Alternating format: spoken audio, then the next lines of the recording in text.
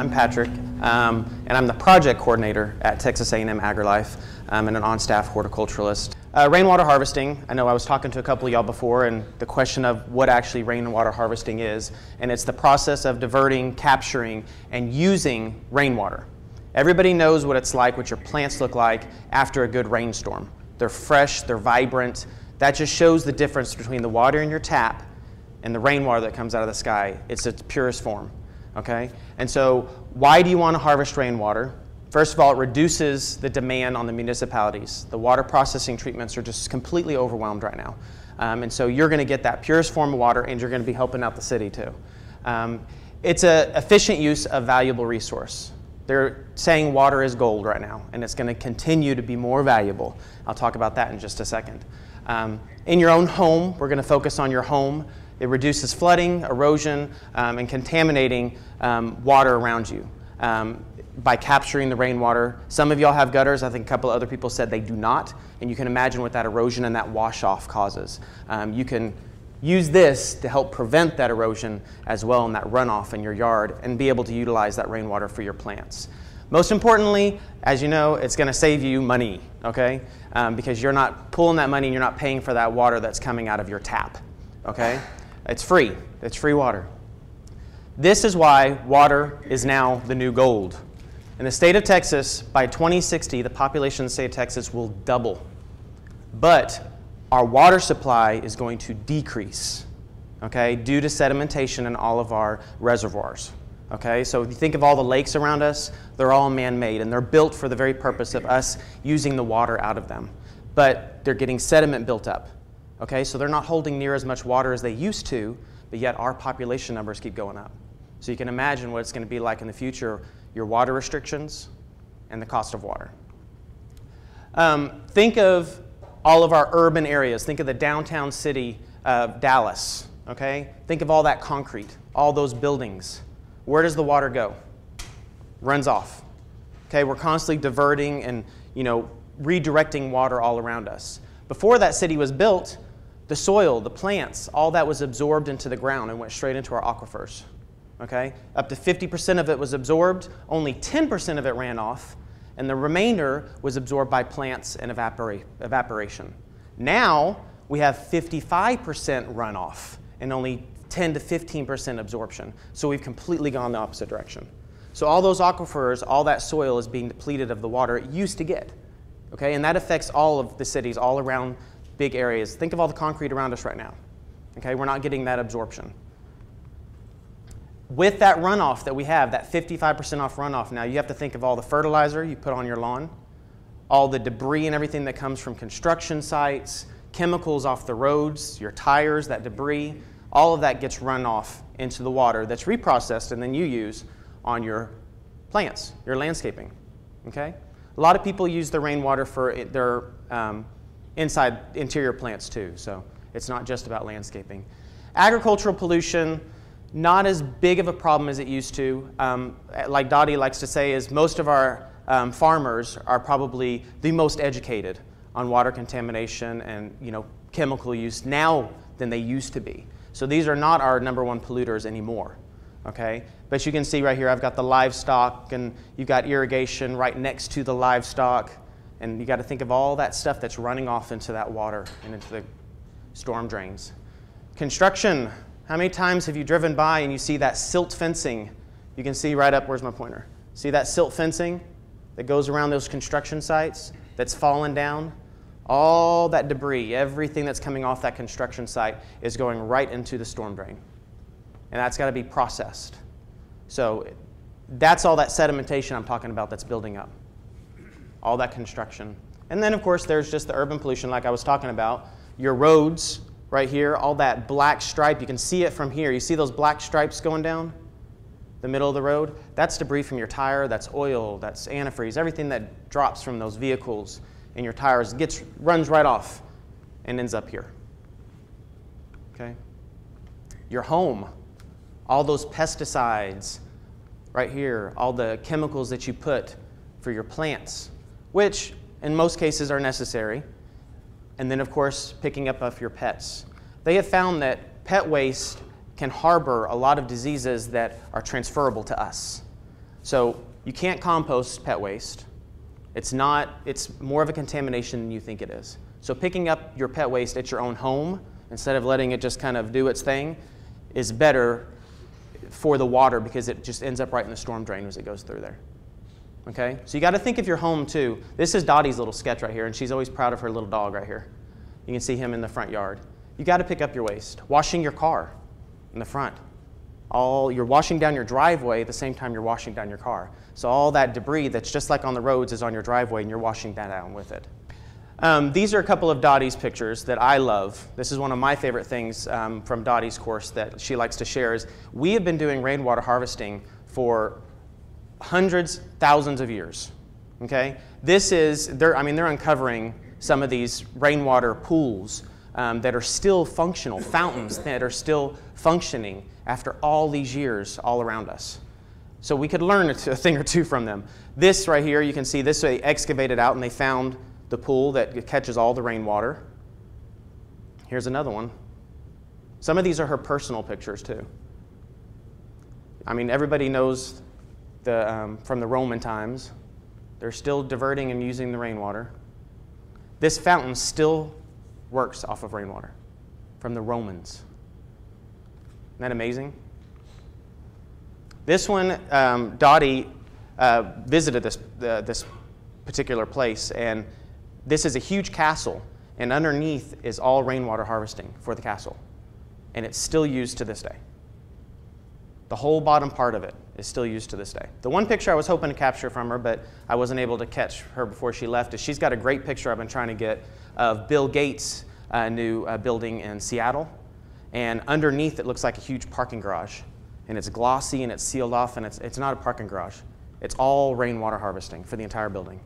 They use it for the toilets, they use it for everything. It's all rainwater harvesting. It's pretty awesome. Okay, so do you understand the importance of rainwater for your landscape and your plants? How you get the water in the purest forms, you're going to get better results from your plants. Um, I use rainwater for my pets in their bowls instead of out of the tap. So there's numerous things you can do. It's not necessarily great for us to be drinking unless you have a purification system. Um, but everybody knows a dog's going to drink out of the ditch if you don't put some clean water out there. But my interior plants, they, I put rainwater on them and they just love it. You don't get the calcification from the tap water. So think of that with the tap water. That's why rainwater is so important. And it's turning into, water is turning into gold. So this is why it's good that you've come to this course and we can teach you all about this. So now we're going to go into how you can catch your rainwater and reuse it at your home. Okay? Very simple. We've got these great barrels right here. Everybody has either a gutter or a valley in their roof, yes? Okay? You can utilize either one. If you don't have a gutter and you just have the valley of your roof right here, you can position it to catch the water that you see pouring off and washing out your yard into the barrel.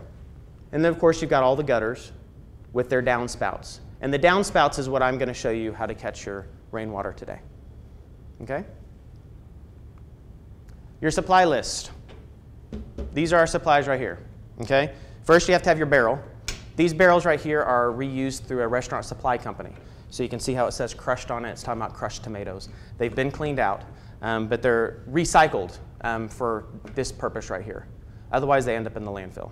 So this is um, the barrel that you need. They have other companies, Coca-Cola, um, other companies, PepsiCo, they're all starting to recycle their barrels in the same way.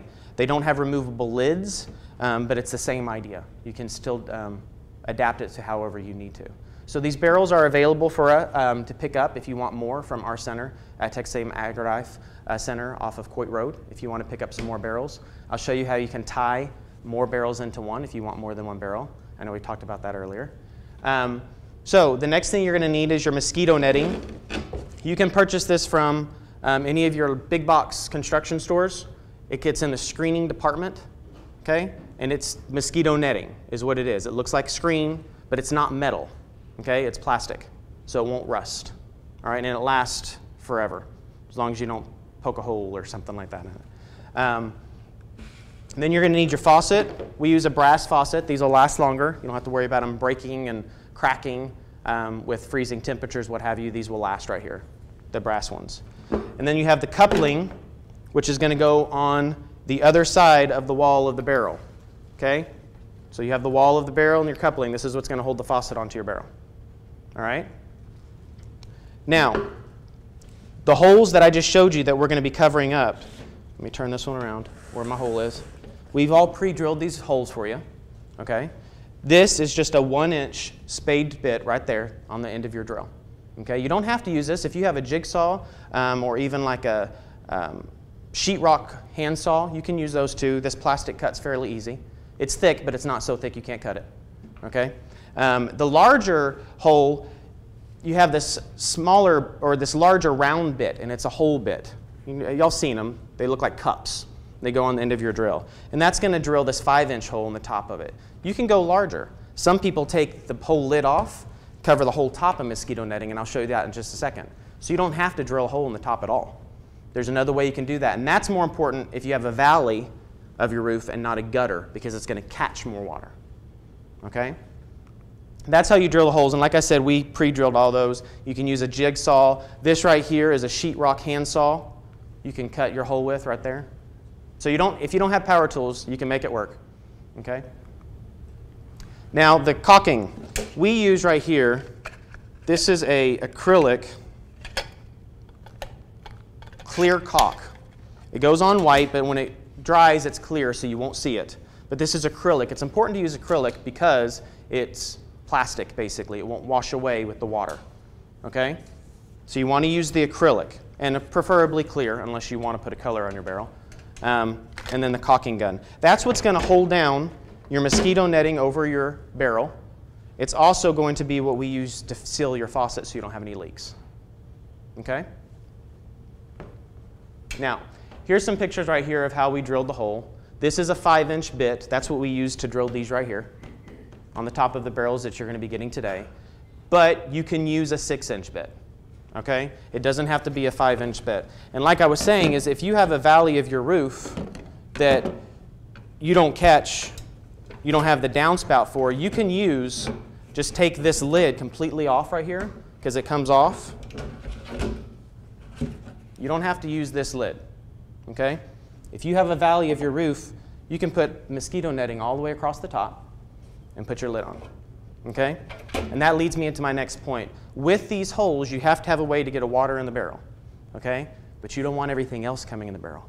You don't want all those leaves. You don't want those mosquitoes, definitely not nowadays.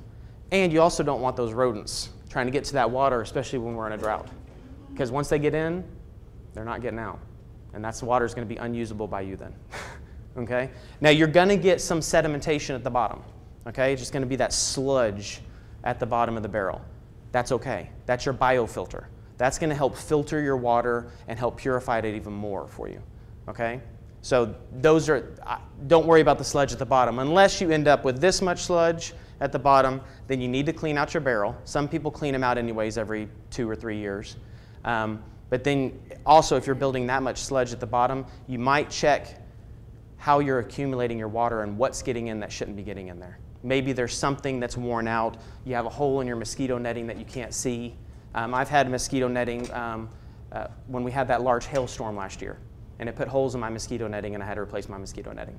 That's the only problems I've ever had. But you'll get all that debris, the leaves, the stems, everything that are washing off of your roof that you're going to have to dust off. What else comes onto your roof? that's going to wash off into your barrel. Do it? Geckos. Yeah, geckos, all this stuff up there. Those squirrels running across your roof, those, bear, those birds flying over your roof. Yeah, that stuff they're going to leave on your roof for you. That's why I wouldn't drink out of your rain barrel. Okay? You, but that will help filter out a lot of the larger stuff. Okay? So you're still going to get a little bit of contamination, but that's going to help build up your biofilter at the bottom. So don't be scared of that black sludge at the bottom if you see it, unless it's covering up your faucet and it's accumulated too much. Okay? It's your, just like in a pond, river, things like that, you have those natural biofilters, and that's what this is going to do for you. Okay? There's Dottie right there. This is one of her pictures I stole. She's drilling the hole right here with the spade bit, and that's your hole for your faucet down here at the bottom, right there. Okay, it's a one inch hole and a three quarter inch faucet bit. All right, now we're going to get into covering up the hole. This is where the mosquito netting comes in. You want to put this in a place to where the mosquito net does not come off. Okay, and the key to that is, and when we go outside, I'll show you more on how to put this on. You want all your corners and all your sides to be completely glued down. Okay, otherwise you're going to get wear and tear, and that's when it's going to start to rip. So you want to completely adhere to the top of your barrel. Okay, if you're going to do mosquito netting all the way across the top, then I would put a bungee cord around it. This one right here, you can use the lid. But if you don't have a, or the, excuse me, the metal strap. If you don't have a metal strap, you can use the bungee cord. The bungee cord will help hold the mosquito netting into place. Okay? So what you're going to do is you can see on the picture here, we're going to put a circle of caulking around the hole. You're going to put your mosquito netting down on it to hold it. And then we're going to work the caulking out all the way to the edges to where you see all white. So you want to make sure you cover all those uh, seams on the. Now when you do the mosquito netting, like I said, this one's got a metal strap you're receiving today. So if you don't want to use the lid, this will help hold down your mosquito netting. All right, now this one right here shows putting on the spigot, your faucet, whichever you call it, wherever you're from. All right, what you want to do is we're going to put the silicone caulking around the thread of this, okay?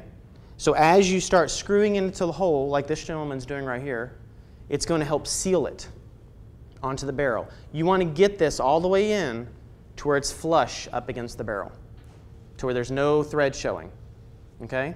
Then we're going to do the same thing from the inside, threading onto the faucet. The key is to get the faucet in first because you can't screw this in unless you have something to screw it to. Okay? So that's the key. Very simple. And then just making sure, running your finger, making sure that silicone gets into all those crevices so that you have enough waterproofing. All right? I've never changed the faucet on my rain barrel. Dottie said that she's, she had one that she had to do about after three years. And all she had to do was redo the silicone caulking. That's it. So that's what's so great about the silicone caulking is that it lasts. Okay, connecting to the downspouts. Um, first of all, you can see the barrels. Most of your downspouts go all the way to the ground, yes? So you're going to have to shorten them. Some of them just unscrew to different lengths, and you can move your elbow up from the bottom to here to catch it. Um, some people put the, they have the black adapters, the corrugated piping. You know, they're like flexible adapters you can put onto your downspout. You can get those at all your large box stores. That way you can redirect if you want to your downspout around the corner, however you want, out of sight, out of mind. For some people, we'll talk about the HOAs in just a second. So here's some pictures to show how some of them been done, have been done. This one right here, you can see they've done all the mosquito netting around the top. They don't have the hole, they just did the whole thing. And that makes sure that they're, they're gathering as much rainwater as they can. They're, not, they're getting less splash by doing it this way. Okay? And then, of course, you have one similar to the ones we're going to do today, or however you want to do it, where it's going directly into the hole that we have pre-drilled for you. So it depends on your needs. This one right here, like I said, if you do not have downspouts or gutters, this is the direction you need to go, right here. That way, as it's coming off the valley of that roof, you're catching as much rainwater as you can. Okay? This one right here is at our center, and you can see how we've kind of brought it around the corner. This is that flexible pipe I was talking about that you can get. Okay? These are just some examples. This right here, they have, they either purchased or reused the same downspouts and gutters that they have now into a rain barrel. And then here's another piece of the flexible pipe. And they've elevated their barrel right here. We talked, some of us talked earlier about needing additional storage if you want more than one rain barrel.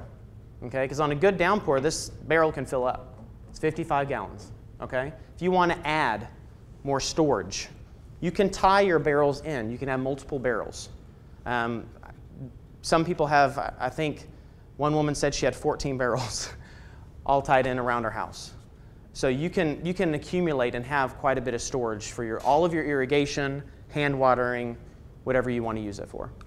And what you can see right here is they've tied it into an overflow, where they've tied it in. So as this barrel fills up, this one will fill up, and then this one will fill up. Okay? I, I like to recommend, this is clear, um, but you can do the water hose. I don't recommend the clear piping. I put this one up here to show you all that. anything clear that sunlight can get into, you have the chance of having algae. Okay?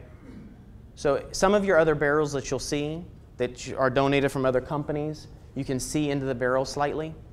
That's going to be a perfect greenhouse effect for algae. You don't want algae in your barrel. Okay? So stay away from clear material.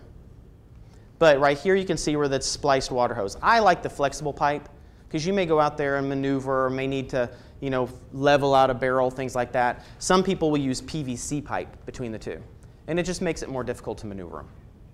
But you can do whatever you want. If it's a permanent fixture, PVC pipe works great. And this is the same concept right here on the ends as the faucet. Putting a threaded in, caulking through your hole. Same concept when you connect your, your barrels. This one right here is at our center. This is the one I was telling you about with the pipe, the, the green pipe. And they're connected at the bottom with the water hose. You fill them up at the bottom or you put the connection at the bottom, they fill up together. When you do the connection at the top, like the ones that I showed you right back here, right there, when you do the connection at the top, that's overflow. So you have to wait for one barrel to fill up for the next one to fill up. Also with this, this one right here, you need to have a separate faucet for each barrel. So as you empty this one, you can go to use this one and use this one. See this one right here, they've got them all connected. And they, they have one downspout right here, and then the rest you can see they're all just mosquito netting and they're trying to just catch the actual rainfall. Not from the gutter, but the actual rainfall. Now, the higher you raise your barrel, think of gravity, the more pressure you're going to get. Okay? You're still not going to get the pressure that comes out of your faucet out of your home but you're going to get enough pressure to where I'll talk a little bit about irrigation. You can put quarter inch tubing on there to water your garden, um, things like that. Filling up a bucket, putting a water hose on it to hand water. So the more you elevate it, like right here, you got 0.633 pressure that's coming from per on the barrel per square per linear foot. As you raise that, you're adding that. Just like if you're adding the barrels, you're connecting them at the bottom you're adding all those barrels together. So the more barrels you have connected at the bottom and the higher you raise it, the more pressure you get. This just goes to simple gravity. Okay? The higher it is, the faster it falls. Okay? All right, now here's the irrigation. This is important if you're going to do irrigation. All right? I found out the hard way. this right here is a simple filter you can buy at your big box store or any irrigation supplier. Okay? It's got a faucet threading at one end, and then it's got the adapter over here for drip tubing. Okay, if you want to run drip tubing to your plants. This filter right here gets rid of all that little stuff that will make it through this mosquito netting. Okay, the little bitty stuff that's going to create that biofilter at the bottom. Okay, you need to filter that out before it goes through your irrigation, or else it will clog it up. Okay, you're going to get that slime buildup and you're going to clog it up. Very inexpensive filter okay, goes on the end of the faucet. This right here is a larger half inch drip tubing. Um, you can see where they've done right here coming off their barrel. See how high they raised it to get the pressure coming off of there? And they ran drip through their little garden right here. Just a good example of a small use one. Okay, and there's, there's different types of drip tubing you can do. Um, this one has the, just the holes throughout the tubing. Um, it's just like a, not a soaker hose, but similar to it. Um, this in here has point source tubing. That's the one where you plug in the little kind of like spaghetti tubing and you can put a little dripper on each plant. Okay? That's the one I like. You, you'll get a larger pressure with that smaller tubing to come out of the heads for the, the irrigation. So, okay, and then some people with the overflow from your barrel um, or putting around your barrel, there's the rain garden. Some of y'all probably have those low spots in your yard that hold water and you can't regrade it. I see a couple of heads shaking. You can't regrade it, you can't get the water to do anything. Well, you can utilize that and get it to work for you if you can't regrade your, your lawn or get that water to go anywhere. And they're rain gardens. Okay? This one right here shows a large school that did the rain garden, and you can see it filling up with water after the rain. That water doesn't stay there, it gets absorbed into the ground. Okay, so mosquitoes are not necessarily a problem unless you just have some areas that will not drain and you're going to have to get those to drain a little bit. But this gets absorbed into the water or until it drains, it gets it stands in the water and you have all the plant material like right here that like their feet wet. I call them boggy plants. Okay? And they'll tell you if they like saturated soil, a lot of water, that sort of thing. Those are your boggy plants right here. A lot of bloomers do that too. Okay, so there's a lot of plants to choose from that. There's a separate course that um, we teach at AgriLife on rain gardens. How to set it up, the plants to choose it, or plant selection, that sort of thing, to help you get a rain garden set up for your home. Okay? Now, we talked earlier, a couple of us, about HOAs and rain barrels, or you don't want people to see your rain barrel. There's different ways you can disguise your rain barrel. They cannot prevent you from doing a rainwater harvesting, but they can say something about the appearance of your rain barrel. Okay? So it may be important in some instances to disguise your barrel. The ones you're going to receive today, like I said, they're from a restaurant supply company. And they've got stickers and they've got some writing on them. We have a couple of handouts that we can email to you. One of them is on how to paint your barrel. Another one is on putting wood slats on your barrel to make it look like an old kind of like a whiskey barrel type look. Okay? Here's some examples on how to disguise your barrel. Um, some people have plants around theirs. There's a gentleman who sells sleeves, and they're kind of uh, like plastic lining sleeves, like a mesh that goes over the barrel, okay, to make it more attractive, and lots of colors too. Um, and then, of course, you can paint your barrel. These are, this is a, one of Dottie's pictures of some barrels that she took pictures of. Um, and the handout explains to you the different ways that you can paint your barrel. Um, primers are important. There's one out there called a two-time coverage paint that's got the primer and the paint in one that you can spray it with. Um, it's all spray paint. Um, that's a large tank system right there, but I thought it was too cool not to show. You could build a trellis in front of it to disguise it. Some people fence theirs in so it's behind a fence. Uh, for instance, like you were saying in the front of your house, maybe you can put like a fence of some sort in the front of your house. And then here's some of the ones you can see where they wrapped it in wood and then they used rope to kind of make it look like an old barrel. See, like right here, they did the metal strapping around this one. Okay? This is one that we painted at the center right here to show as an example. We have several that we're doing. This is in the handout that we can email to you, this actual barrel right here. And what we did is we painted the barrel all black, and then we got a stencil, and we used acrylic paint, and we stenciled it onto the barrel. Okay? And then we did a clear coat. They sell a clear coat, clear coat spray that goes over that. The clear coat spray is important because that helps seal it even more for the weather. Okay? Because I found before we did the clear coat that it can still chip off with primer. But the clear coat doesn't come off with that second coat on there. It stays on there. Okay, y'all ready to make a barrel?